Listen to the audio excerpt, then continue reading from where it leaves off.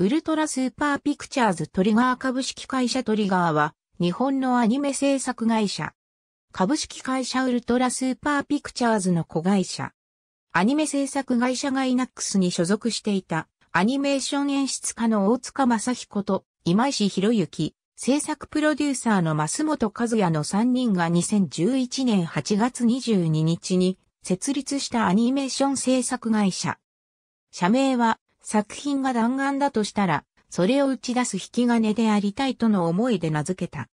スタジオ設立前より、持ち株会社、ウルトラスーパーピクチャーズの構想を聞かされ、最終的に各グループ企業の自主性を重んじる方針が決め手となり、設立時よりグループ企業として参加している。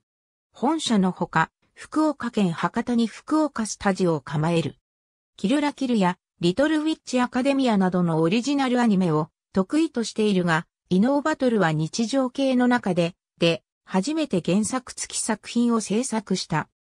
2016年に同社が制作し、8月2日に YouTube で公開したキリンの缶入りチューハイ、氷結のプロモーション動画をテレビ CM として放映、キャンペーンの予定もあったが、市民団体の連合により発売販売元のキリンへ動画の非公開を求める要望書を提出。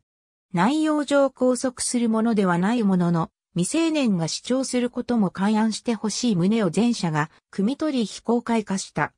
しかし、翌2017年1月16日にアニメファンの運営するまとめサイトタゲターに抗議文を掲載、署名を始めた。なお、同サイトによると1月19日現在で2672名の署名を集めている。2020年6月30日、元従業員の長時間労働や裁量労働制の誤った運用による未払い産業代について、元従業員と団体交渉を行っていましたと公式サイト内にて報告した。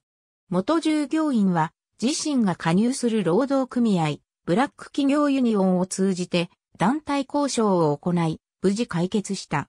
元従業員は大変でしたが、無事解決してよかったです。この業界で正しく裁量労働制が運用されることを願いますと話している。株式会社トリガーは、弊社は今後も労働条件の改善に努めていきます。と話している。この団体交渉は今回合意に至り、円満解決となった。ありがとうございます。